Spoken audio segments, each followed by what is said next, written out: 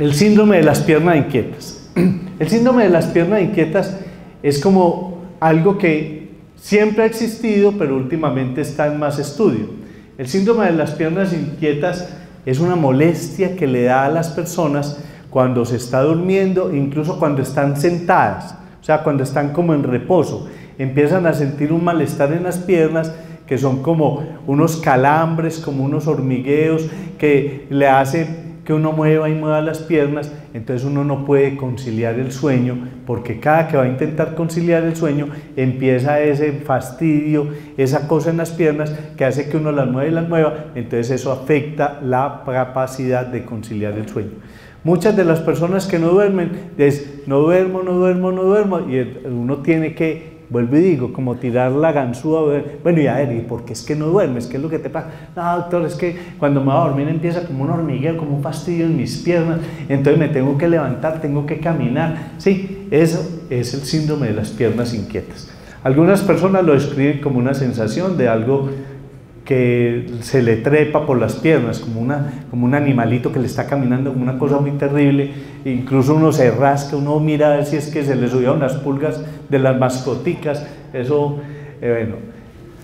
Este síndrome de piernas inquietas puede ocasionar entonces problemas para dormirse o permanecer dormido, porque lo puede despertar a uno. El tratamiento, sigamos. El tratamiento del síndrome de las piernas inquietas ese es un grave problema. Yo tengo muchos pacientes que después de que he hablado en televisión de este síndrome, de que lo, hemos ido evidenciando, le consultan a uno. Eh, el síndrome de las piernas inquietas se debe a un problema es en el cerebro, no en las piernas. Es un problema de las neuronas cerebrales que se reflejan en las piernas. Es como cuando uno tiene un problema de columna que cuando uno tiene un problema de columna le duele la pierna, pero no es porque tenga un problema en la pierna, sino que en la columna se le pinza el nervio que va hacia la pierna, entonces le da uno una cosa que se llama una lumbalgia, ¿no es cierto? Producto de eso. Entonces, el, trastorno del síndrome de las piernas inquietas es por un daño en unas neuronas cerebrales. El tratamiento está en discusión. Se ha dicho muy poquito. Hay algunos medicamentos que pueden ayudar, pero son medicamentos muy específicos, porque uno le va dando uno y si ese no ayuda lo pasa a otro, y si ese no ayuda lo pasa a otro.